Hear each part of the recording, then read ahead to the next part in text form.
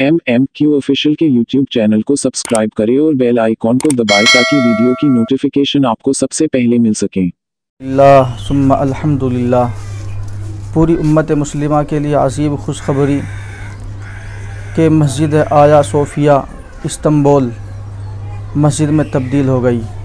آئیے جانتے ہیں آیا صوفیہ کی تاریخ اور ہسٹری اللہ کے نبی صلی اللہ علیہ وسلم نے ارشاد فرمایا کہ تم ضرور بھی ضرور قسطنطنیہ یعنی استنبول کو فتح کرو گے اور اس کا امیر بہترین امیر ہوگا اور اس کا لشکر بہترین لشکر ہوگا۔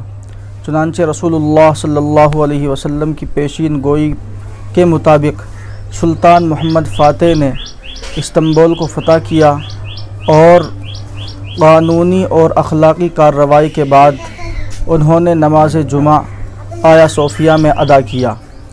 آیا صوفیہ یہ عیسائی دنیا میں ایک عظیم عسکری جگہ تھی۔ ایک فوجی ہیڈ کوارٹر تھا اور ان کا عقیدہ یہ تھا کہ جب تک ہمارے پاس یہ عمارت موجود ہے، ہم کو کوئی شکست نہیں دے سکتا۔ اور ان کا یہ بھی عقیدہ تھا کہ اس کو فتح کرنا، اس کو ہم سے چھیننا کسی بھی طاقت کے لیے ناممکن ہے۔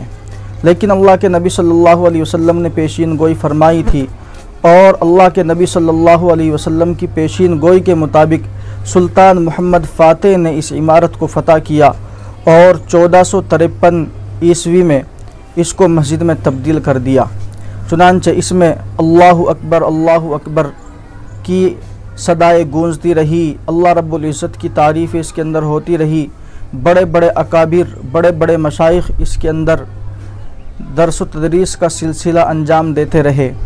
لیکن بدقسمتی سے انیس سو تیس میں کمال عطا ترک پاشا نے اس کو بند کر دیا اور اس کے بعد انیس سو پینتیس عیسوی میں اس کو میوزیم میں تبدیل کر دیا۔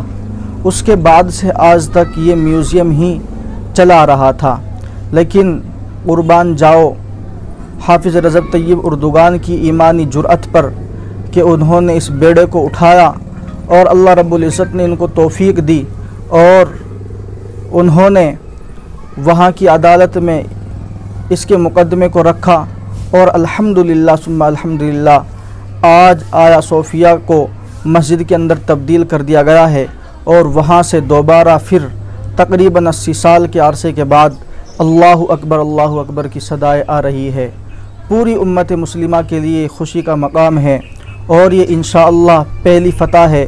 اس کے بعد انشاءاللہ امت مسلمہ بیت المقدس کو فتح کرے گی اور پوری دنیا کے اندر اسلامی نظام کو قائم کرے گی اور پوری دنیا کے اندر انشاءاللہ اللہ رب العزت کی بڑائی اور کبریائی کو بیان کرے گی۔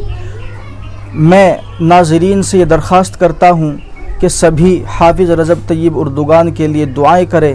اللہ رب العزت اس کو اور توفیق دے۔ اور وہ خلافت عثمانیہ کو دوبارہ بحال کر سکے۔ السلام علیکم ورحمۃ اللہ وبرکاتہ۔ وآخر دعوانا ان الحمدللہ رب العالمین۔